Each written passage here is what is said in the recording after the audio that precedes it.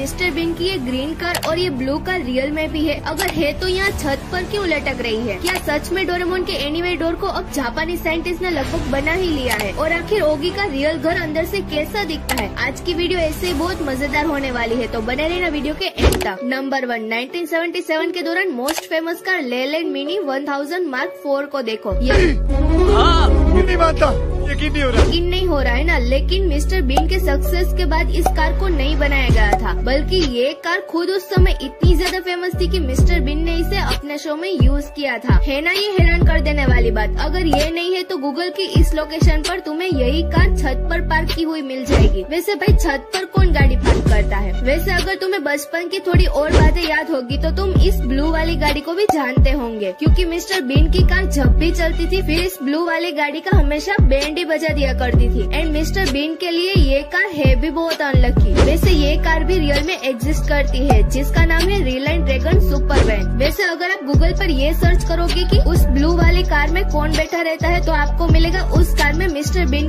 Girlfriend यानी इरमा गोब होती है। बट मुझे ऐसा नहीं लगता, क्योंकि मिस्टर बीन के एक एपिसोड के दौरान कार के अंदर के सीन में हमें कुछ ऐसा मर्दाना हाथों को दिखाया जाता है। Number two cartoon and anime के गैजेट्स हमें बहुत ही ज़्यादा पसंद आते हैं। लाइक जैसे कि डोरेमोन का ये एनिमे डोर जो आपको दुनिया में कहीं पर भी पहुँचा सकता है। अब अभी हमारे पास जितनी टेक्नोलॉजी है, उससे तो इसे रियल में बनाना पॉसिबल नहीं है। बट अगर हम इसे रियल में नहीं बना सकते तो इसका मतलब क्या हम इसे वर्चुअल भी नहीं बना सकते? अब इसी चीज़ को जापान की एक कंपनी ने अपने डोरेमोन फैंस के लिए कुछ ऐसा वर्चुअल एनीवेयर डोर को बनाया है, जिसमें जब भी आप इन वेयर ग्लासेस को पहन लेते हो तो उसके बाद ये आपका सिंपल सा पिंक डोर एनीवेयर डोर में बदल जाता है एंड आप उसकी फील ले सकते हो। नंबर थ्री अभी तक आपने ऐसे कई वीडियोस देखे होंगे जिसमें कार्टून कैरेक्टर्स अगर रियल लाइफ में होते तो कैसे दिखते? उसके बारे में बताया जाता है। लाइक अगर डोरेमोन रियल में होता तो कुछ ऐसा दिखा और ओगी होता तो कुछ ऐसा। सिंचन होता तो कुछ ऐसा। बट चलो आज हम इसे उल्टा कर देते हैं। और जानते हैं उन कुछ रियल लाइफ पर्सन के बारे में जिनके ऊपर किसी फ़ेमस कार्टून कैरेक्टर को बनाया गया है। 18 मई 2001 में एक बहुत ही फ़ेमस एनिमेटेड मूवी आई थी, जिसका नाम था श्रेक जिसमें हम इस हरा भरा गधा जैसा दिखने वाला और गधे के साथ रहने वाला इस मॉन्स्टर को दिखाया जाता है। बट अब जरा आप 1903 में जन्मे मोरिस टिलेट को देखो, जिनको